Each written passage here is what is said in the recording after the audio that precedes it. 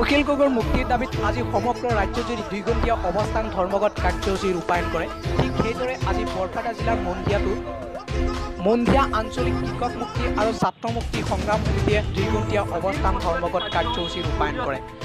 কাৰ্যসূচীত মন্দিয়া আঞ্চলিক কৃষক মুক্তি সংগ্ৰাম সমিতিয়ে অখিল গগৈক মুক্তিৰ দাবী আৰু লগতে উন্নতমানৰ চিকিৎসাৰ দাবী উত্থাপন কৰে। আৰু লগতে কয় যে অখিল গগৈক ষড়যন্ত্ৰমূলকভাৱে হত্যা কৰাৰ প্ৰচেষ্টা চলাইছে বিজেপি চৰকাৰে।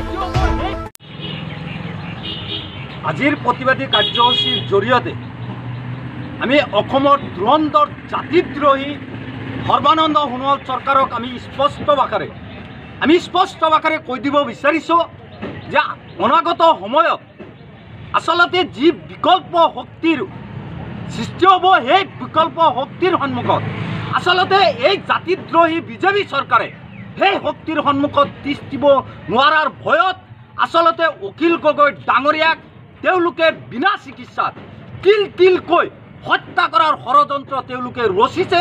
গতিকে আমাৰ স্পষ্ট কথা যে অখিল গগৈ সহ সকলো কাৰাবন্দীক অনতিবিলম্বে মুক্তি প্ৰদান কৰিব লাগিব আৰু অখিল গগৈক উন্নতমানৰ চিকিৎসা প্ৰদান কৰিব লাগিব। নহ'লে সঁচা সঁচিকৈ আমি কৃষক মুক্তি সংগ্ৰাম সমিতি, ছাত্ৰ মুক্তি সংগ্ৰাম সমিতি অসমৰ জনগণে কিন্তু এই বিজেপি চৰকাৰক চাই আছে।